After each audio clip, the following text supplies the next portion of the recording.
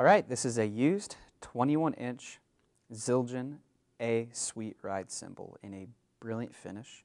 Now, if you're really stuck in between choosing between just a, a regular 21 inch Sweet Ride and a 21 inch Sweet Ride with a uh, brilliant finish, uh, the brilliant finish is going to be brighter and a little higher in pitch. Uh, usually that's the case.